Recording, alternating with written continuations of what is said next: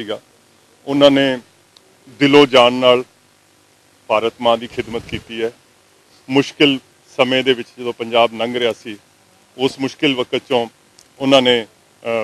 ਪੰਜਾਬ ਨੂੰ ਬਚਾਇਆ ਚਲੋ, ਇਹ ਤਾਂ ਠੀਕ ਹੈ, ਜੋ ਵੀ ਇਨਸਾਨ ਆਂਦਾ ਹੈ ਉਹਨੇ ਜਾਣਾ ਹੁੰਦਾ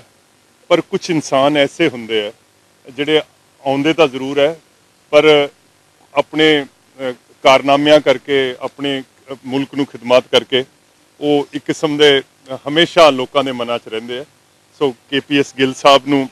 ਹਾਲਾਂਕਿ ਉਹ ਤਵੀਲ ਉਮਰ ਇੱਥੋਂ ਲੈ ਕੇ ਗਏ ਹੈ ਔਰ ਇੱਜ਼ਤ ਨਾਲ ਇਸ ਮਾਸ਼ਰੇ 'ਚ ਗਏ ਹੈ ਔਰ ਮੈਂ ਉਹਨਾਂ ਨੂੰ ਇਸ ਮੌਕੇ ਤੇ ਖਰਾਜੇ ਤਹਿਸੀਮ ਪੇਸ਼ ਕਰਦਾ ਚੋਣ ਮੈਨੀਫੈਸਟੋ ਵੱਡੇ ਪ੍ਰੋਜੈਕਟ ਲਿਆਉਣ